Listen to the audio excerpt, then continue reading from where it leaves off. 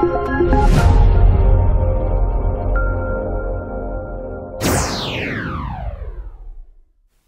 good, everybody? It's Abwon, and this is Before You Watch.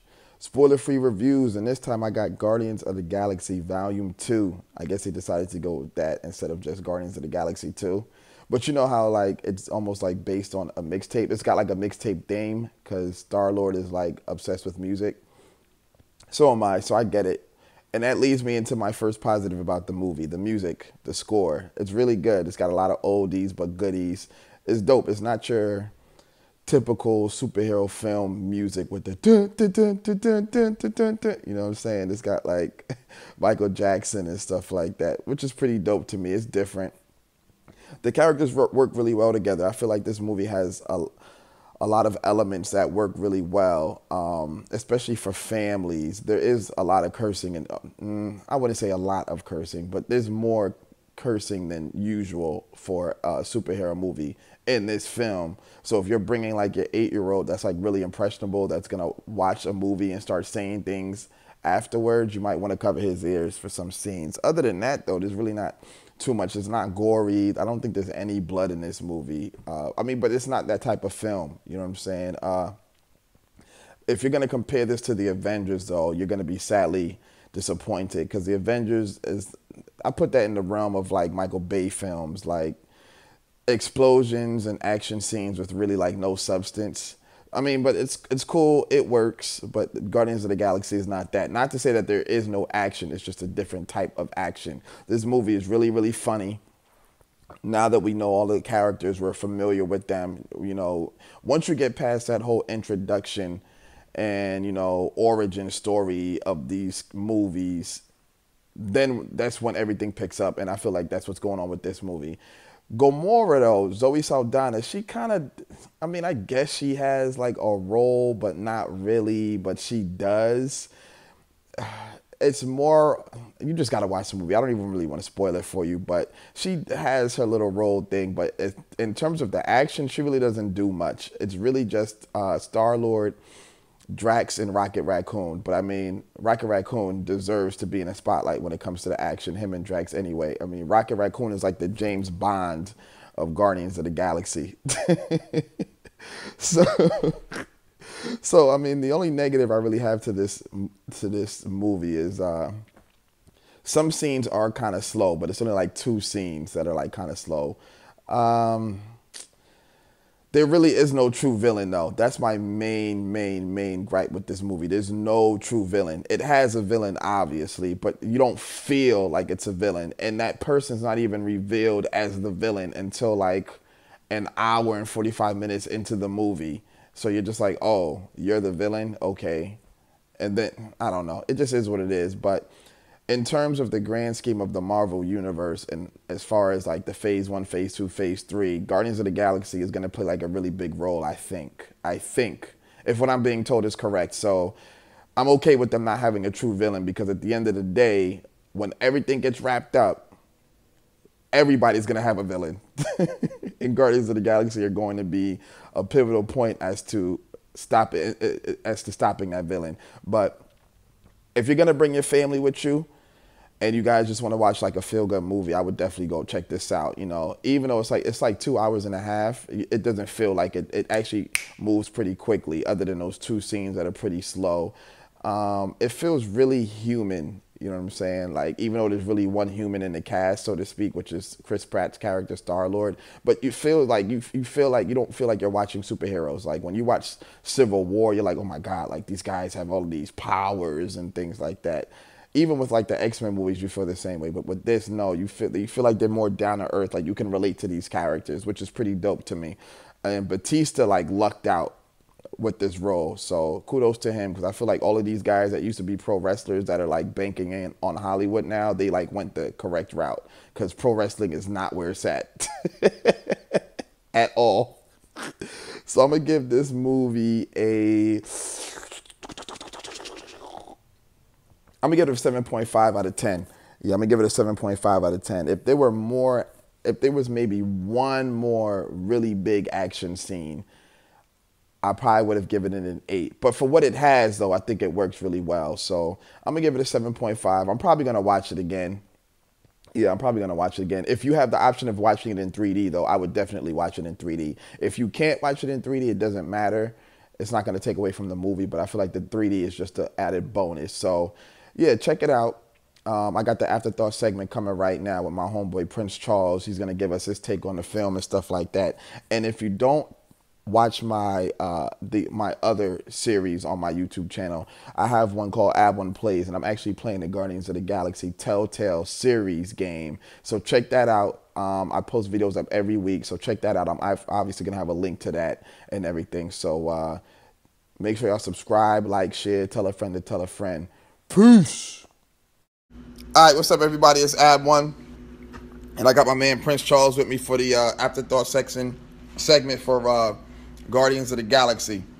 How you guys doing? Yo, it's a pleasure all day, every day. You already know what it is. Y'all probably heard him before. He's been on some afterthought segments for some other movies. I think the last one he was on was um, The Accountant, which the, was pretty dope. We were talking yeah. about James Bond and Jason Bourne yeah, and all that shit. we're comparing him and putting him. Uh, we're trying to put him in the same in the same level as them, but uh, I think we we all had a slight disagreement on that. But yeah, it was dope though. Was definitely dope, a dope movie. Dope discussion. A dope movie too. Definitely a dope movie. All right, so First question, you already know. One to ten, what would you give mm. this movie, yo? Spoiler free, spoiler free. All right, without comparing it to the first one, I'm gonna give it an eight. I'm gonna give it an eight. Mm. And uh, spoiler free, it's just I don't know. It's it still has that same Guardians vibe. I think it's it's a definite watch, an absolute watch. So, what's the best thing you liked about the movie? Honestly, the best thing I liked about the movie is the humor. Yeah, I was about to say the same thing too. It's funny. The it's movie funny is movie. actually really funny. Uh, it's yeah. it's funny. It's entertaining. It's it's one after the other. It's it's it's boom boom boom. Right, you know, and it and, and by that I mean it's full of action. It's definitely definitely something worth watching. What's the worst thing you liked? What's the what's the one thing you most disliked about the movie? The story at the end was a little little corny. Yeah, but I mean, it, it is what it is. Yeah. It is what it is. You got you got to work with what you have. I didn't like the fact that they didn't really have like a true villain, yo. See, that was, and that's that's what I mean. That's exactly yeah. what I mean. I'm, I'm, without without putting too much out there. The fact they lack, they really do lack a villain. Word, word, word. And I think there's some surprises coming because this, this movie had a lot of gems that it was throwing out. True. And you really got to pay attention. I don't think we were paying too much attention. Yeah. We still caught some. Word, word. But they got word. a lot of gems they're throwing out. So. Word. Yeah, we were sipping during this movie, so like we enjoyed it, but like sometimes we was bullshitting, but we still enjoyed it. You know what I'm saying? So okay if you would take this movie, right, and uh, you would take this movie, you would take uh, the Avengers, Civil War, and X Men. As far as like collectives, like you know, they got the teams and shit. Which one would rank them from like one through four? Oh that makes the question even harder. Um, I'm definitely gonna put Civil War at as, the top. At the top. Yeah, me too. I'm gonna put the first Avengers as number two. Ah, uh, that's me. I'm gonna put the first Avengers at number two. Okay. And that because that one that one ties real close with the the first Guardians. Okay. And okay, this right, one right. this one will be this one will be at the at the back end of that. And you gonna put X Men last? Oh, see next I, I don't see. My thing is I don't see X Men tying into. uh to oh well, that's a whole different like yeah. distri- I think that's like a different distributor yeah I think like, so too. I don't see X Men Sony or Fox or whatever it's, right I, I, thought it's Fox. They might have sold they might have sold their uh their copyrights to Sony. I'm not sure true, or back with and this is like the whole Marvel Studios thing, yeah so, so, I really can't I really can't speak on that because I'm not too I'm not too uh, savvy on what's going on with what? with that part of Marvel. But as far as that's concerned I that's how I put it down I put it down I'm uh, uh X Men's not in this right now true True. I can't wait to see what they do with these Infinity War movies. Bruh, listen.